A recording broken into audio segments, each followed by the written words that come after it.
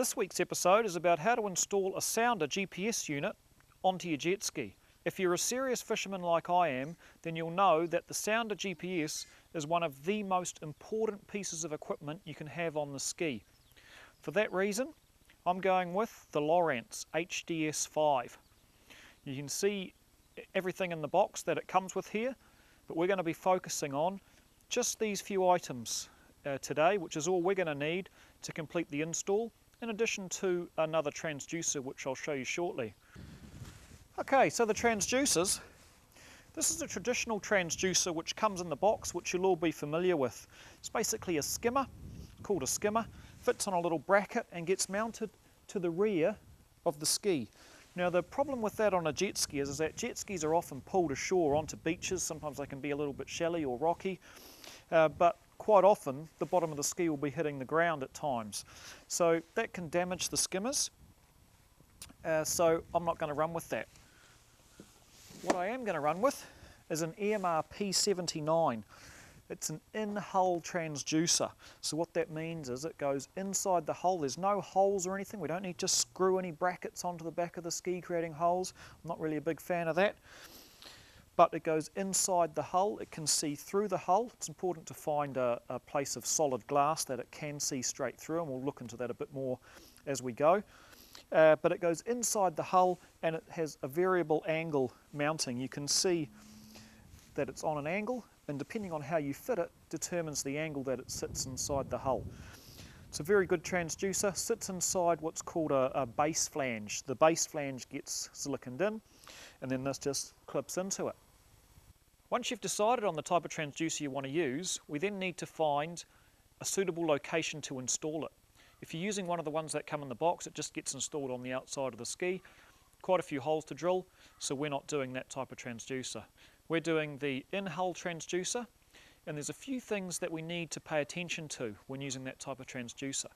Firstly, we need to get it so that it is perfectly flat. It must be perfectly flat, uh, pointing straight down at the seabed. So if your hull is on a slope, that transducer needs to counteract that slope so it's pointing straight down. And that's what the little base flange does uh, with this transducer. Secondly, it needs to be able to see through the hull. That means there can't be air bubbles, there can't be two skins with air in between, there must be just one skin of fiberglass. It can see through fiberglass no problem, but we need to find an area within the hull where it can see through. The third point is we want to get it as far back in the ski as possible. The very back of the ski very rarely comes out of the water, so that's the bit that's going to be getting the best sounding, if you like, as you're running. The further forward you go up the ski, the more it's going to be out of the water. So we're going to have a look for a location down the back of the ski in the Yamaha FXHO. There's a nice little spot for it. Some other skis you have to fit it in front of the engine. But in the Yamaha FXHO, perfect little spot down the back. So now we know where we're going to install the base flange. All we need to do is put it in. That's a very simple task. Just take the base flange, run some silicon right around the bottom of that flange and make sure you use sufficient amounts of silicon because it needs to be completely watertight. We're going to fill that base flange with a liquid a little bit further down the track. So lots of silicon around there and press it into that hull. Make sure you've got the angle right, press it firmly into the hull and we'll move on to the rest of the task. Okay, what you then need to do is take the lid off of the uh, little storage compartment just up the front of the jet ski. You take it off by just depressing the pins and popping them out. They just slide straight out nice and easy and the hatch will lift straight off. Once you've got it off, you can lay the uh, template over the top of it.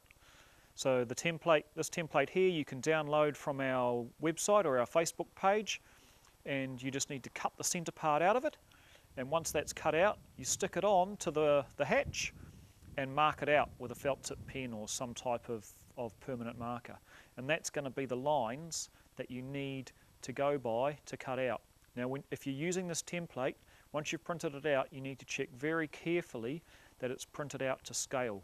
So put a ruler on the dimensions down the side of the template and measure them.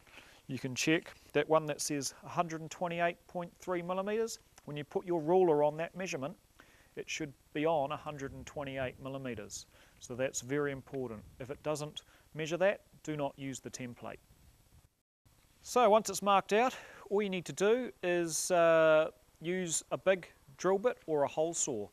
You need to basically make a, a, hole in each corner with a drill bit or a hole saw to, to set the corners effectively. Once you've done that, you can then use a grinder if you're careful and you can grind out the uh, along the lines to cut that little centerpiece out or you can use a little hand saw. Take a hacksaw blade off, slide it down through the hole that you've made with the drill bit and just cut along the lines. Okay, so now that we've got the hole cut, what we need to do is drop that sounder in there, check that it fits. Once we know that it fits, we need to get it ready for siliconing in.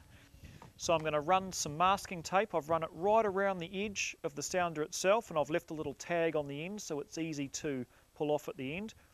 And I've also run masking tape right around the edges of the hatch. So it's about probably six or seven mils back from the edge of the hatch. I've put the sounder in the hatch and then taped it up after that. So that's going to give us some really nice lines. It's going to look nice once it's all siliconed in and finished. So now we're ready to start the siliconing process.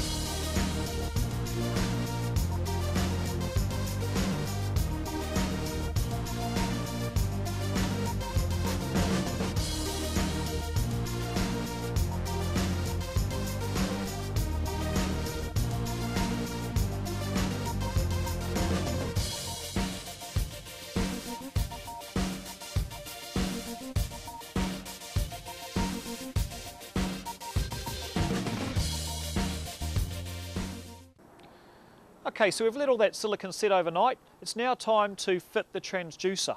What we need to do is we need to fill that base flange with a little bit of antifreeze. And what that does is that means when we click the actual transducer unit itself in, it'll be in a liquid and that gives it a nice uh, constant signal all the way down to the water.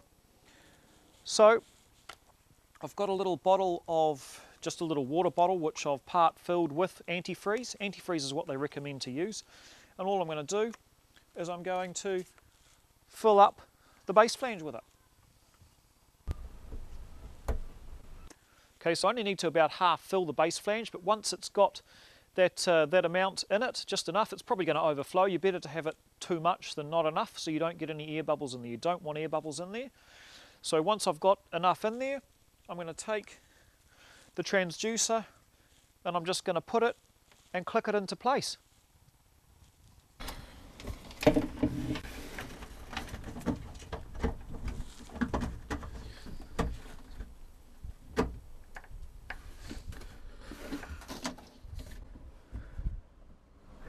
Once that's done, while everything's drying, all that's left to do is to run the cables up through the hull.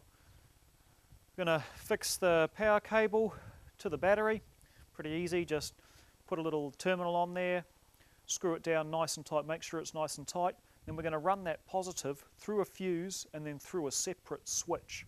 That allows us to isolate the unit from the battery so that it's not on all the time. Even when the unit's off, we still don't want power running to it. So I have a little switch on that which isolates it. The fuse which comes in the box, that's important as well. So make sure that that is also in the sequence of cable. You can hook all that up, run the wires up to the front, and all we need to do is make a hole in the bottom of the, the box for the wires to come up through.